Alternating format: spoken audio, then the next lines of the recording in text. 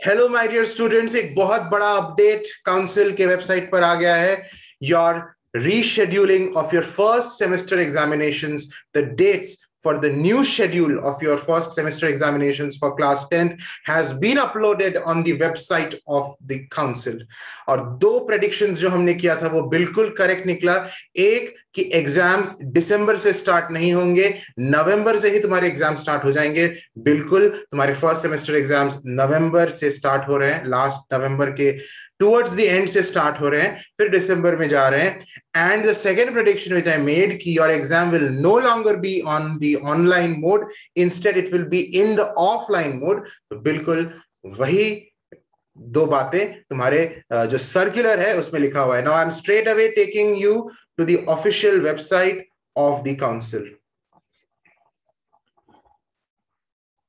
You must be able to see the official website of council. Here is the official website. If you scroll down a bit, you will see the notice board. The first notice itself is the revised schedule of the ICSE and ISC examinations. I'll read it for you.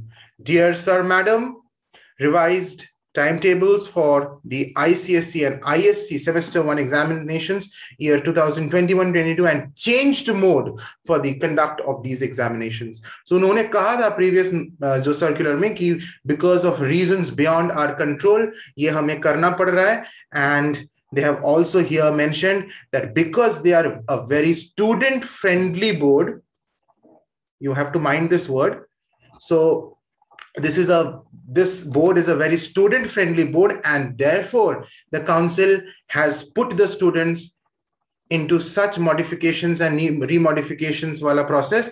And finally they ended up in offline mode of exams.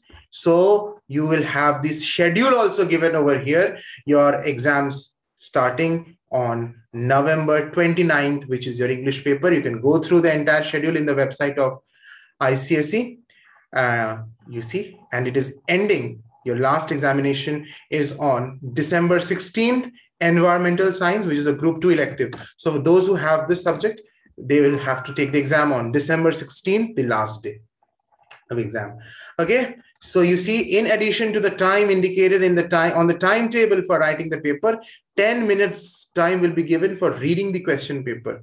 The question paper cum answer booklet will be made available at 10:50 a.m. on the day of examination. So this is what is going to happen. Have a nice day, all of you, and keep studying and keep preparing well for these exams.